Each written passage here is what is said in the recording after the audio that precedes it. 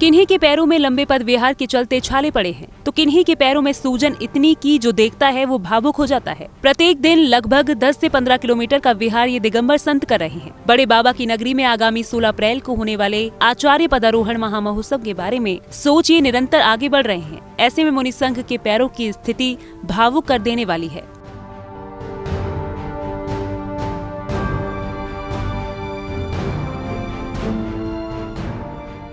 तेईस मार्च की सुबह जब निर्यापक मुनिश्री अभय सागर जी महाराज ने कुंडलपुर में पदार्पण किया तो उनके पैरों में पड़े घावों को देख भक्त भावुक हो गए।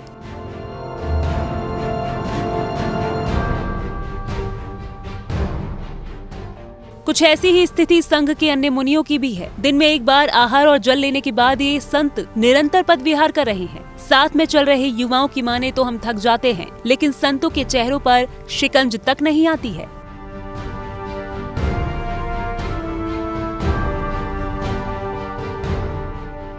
संघ के ज्येष्ठ श्रेष्ठ निर्यापक मुनिश्री समय सागर जी महाराज ससंग की गति की बात करें तो मुनिवर लगभग 10 मिनट में किलोमीटर का पद विहार कर रहे हैं। ये भी किसी अतिशय से कम नहीं है।